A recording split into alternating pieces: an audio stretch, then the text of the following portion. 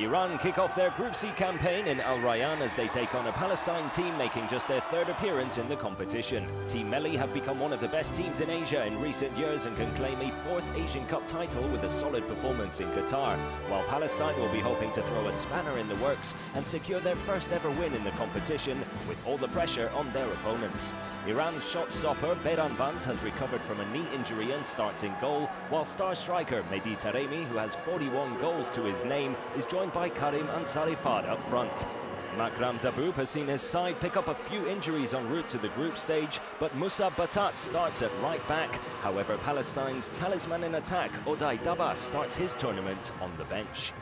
Into the action we go, and it wouldn't take long for Iran to set the stage just inside the second minute.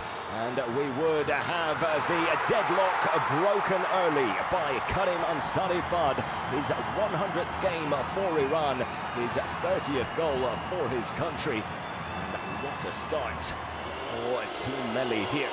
12th minute and all the pressure coming from the team in white. Great delivery and again, it's a fantastic cross from Saman Ghoddos, this time picking out Khalilzadeh, scoring his third goal for Iran. No one picking him up at the back post. And Palestine in trouble. That trouble could have been a lot worse had Rami Hamada not been able to intercept that ball across the middle by Jahanbakhsh. Very nearly 3-0.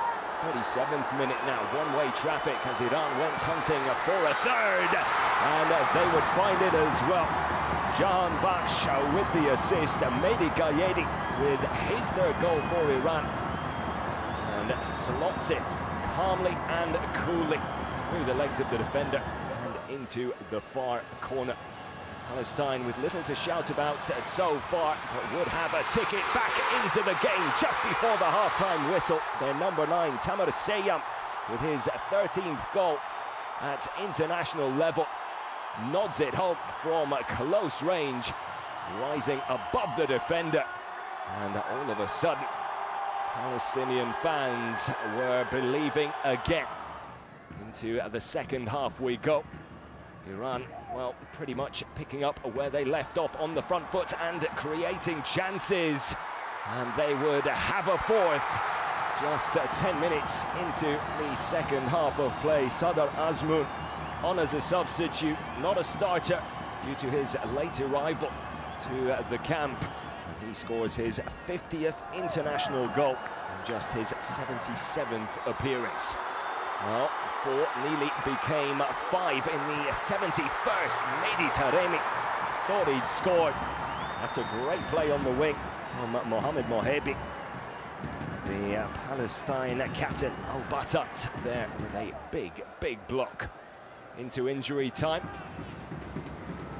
And, another chance, a rare one for Palestine. From distance, Alaeddin Hassan denied by Beiranvand. And that would wrap things up as well.